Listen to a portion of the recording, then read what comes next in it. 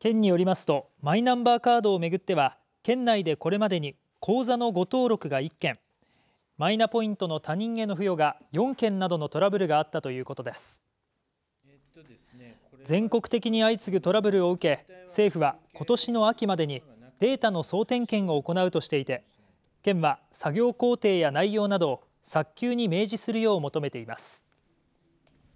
この度のマイナンバーかマイナンバーの総点検への協力を通じてですね、えー、信頼の回復、それからまあさらなる普及に向けて引き続き市長と協力しながら取り組んでいきたいと。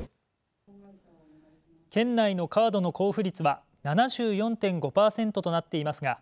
広島市によりますと5月から107件の自主返納があったということです。